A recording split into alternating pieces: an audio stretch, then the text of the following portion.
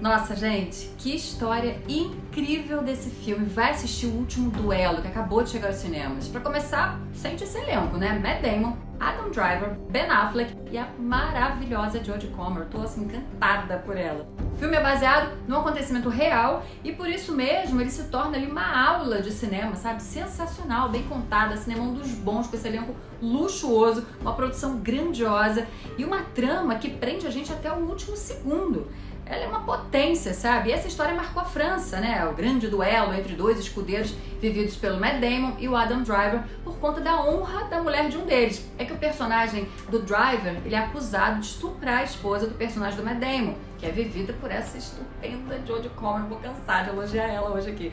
E nesse embate, só um pode sair vivo, né? E se o marido morrer, a mulher tem que morrer também. I am risking my life for you. You are risking my life so you can save your pride. Mas é muito interessante como o diretor, o Ridley Scott, aquele de Gladiador, né, estrutura esse filme, sabe? Ele narra três histórias diferentes, cada uma sob o ponto de vista dos três envolvidos. E assim a gente vai tentando ali entender o que aconteceu e chegar às nossas próprias conclusões. É incrível, principalmente a força da mulher nessa história. A Jodie Comer está impecável, numa época em que nada, nem ninguém, né, era favorável às mulheres. The truth does not matter.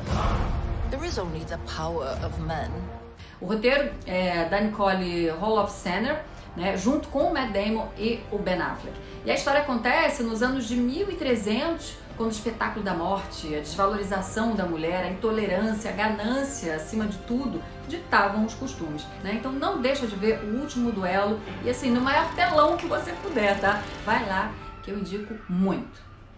Tchau!